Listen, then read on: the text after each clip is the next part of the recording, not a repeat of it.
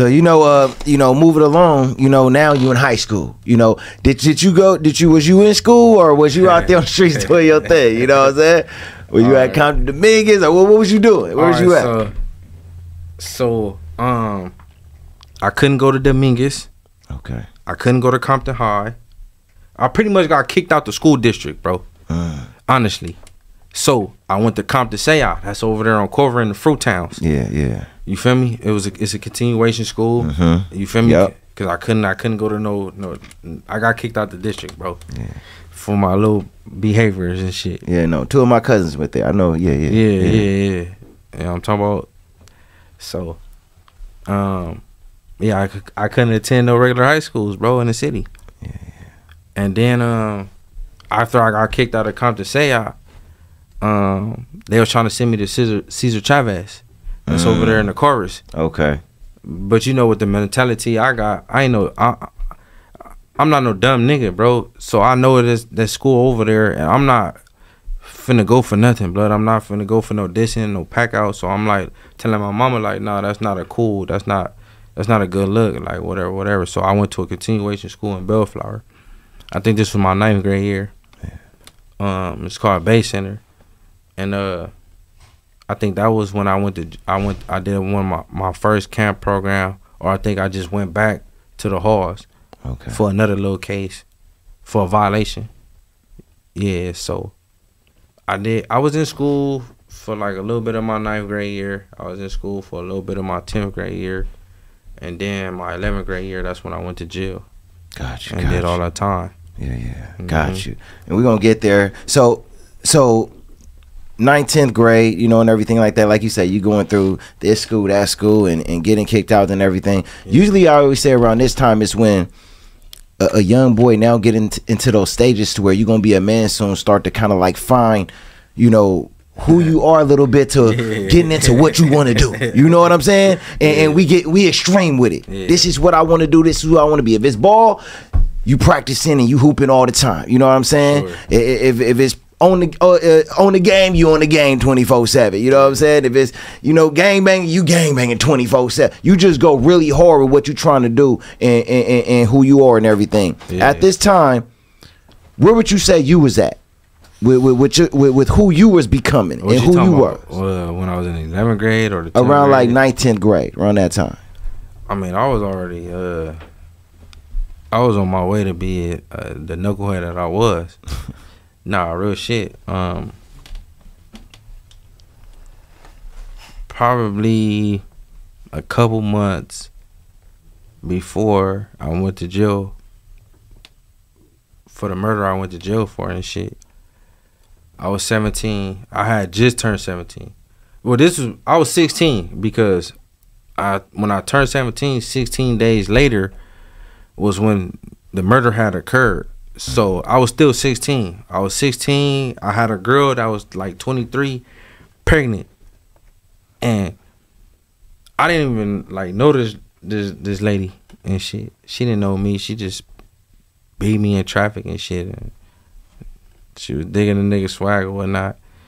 And uh, long story short, I end up me and her having sex and shit. And then I go to Vegas. One of the homies they stayed in Vegas. I go to Vegas or whatever, whatever. At this time, this when I know like the police they looking for me and shit. So boom, I, I come back to the city. When I come back, I see her. She tell me she pregnant and all this of shit. I remind you, I don't really know. I don't. Even, I just know the girl first name. Like I don't know nothing about her. That's it. She just know my name G, and I'm from Treetop. Mm. Like you feel me? So me being the logical thinker that I am, bro, I'm telling her like, look, I don't know you, you don't know. I'm on the run for some shit. I'm not gonna be able to be there for you or the kid if it's mine. So I think like the best thing to do at this point is get an abortion type shit. You feel me? Yeah. But for whatever reason in her mind, like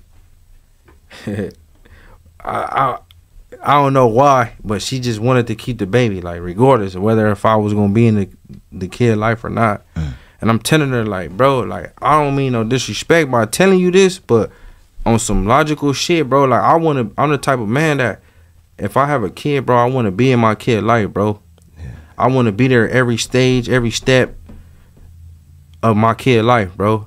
And I know the shit that I'm doing in these streets, uh, what I got currently going on, bro. I'm not gonna be able to do that.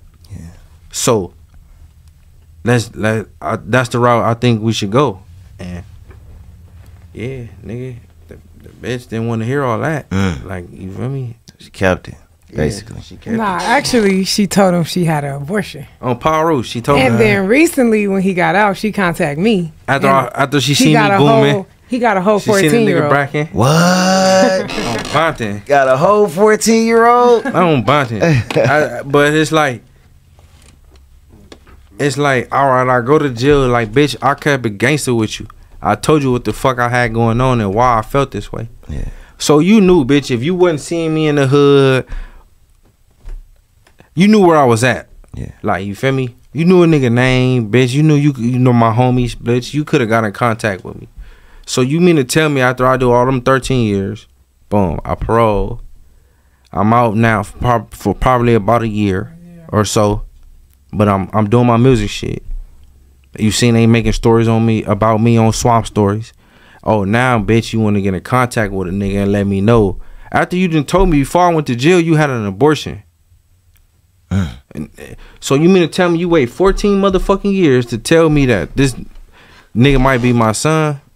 Bitch, you foul. Wow. Bitch, you's a weirdo. Super foul. That's yeah, crazy. come on, blood. Like, for real. But you expect me to stop everything I going on with my wife, with my weird ass baby mama, to come and, and, and, and tend to you and, and, and this little nigga that can possibly be mine after you done had all this time, bitch. Who you knew nothing about. I knew nothing about, bro. Crazy. He knew he was a daddy though the whole time. Man, get So- the no. so so you knew oh, did Man, a, little, a little, but did a little bit of you feel like hey, I, she probably had the kid a little bit. Fuck no. Once the bitch told me she had an abortion, because I know women, That's I know true. women, I know women that got dignity about themselves, bro. Like they they against the abortion shit in the first place. So if if, if a female tell you she got an abortion, then we wasn't dealing with a woman that had dignity. She, you, she didn't even know your last name when she had sex with but you. listen to what listen to what I'm saying though. Cause y'all talking about I knew I had a kid. It was a joke. Yeah, don't don't don't play with me like that. it was a joke. Yeah, no, we can't do that. Because now we're gonna get into some whole some, some political shit. You know what I'm talking about don't do that. I was joking. real talk, real talk. Yeah. But you know, it is what it is, bro. You Yeah. feel me? It's just to show you that the fucked up world we living in today, bro. yeah, yeah. Like nigga, how a motherfucking kid coming with with all the logic, and you are a full grown ass woman. You 23, I'm only 16, bro. I'm telling you, Yeah. like, Wow. you feel me? Uh-huh. Yeah, But- yeah, But you know, people is crazy these days. yeah. That, That's why I keep my circle small. On the mission. At 11 years old, this right here was my vision. Make it to the top, catch everyone's attention. And haters they can hate as long as they listen to the words that I say as my tongue keep twisting. Heavyweight flow, you not in my division.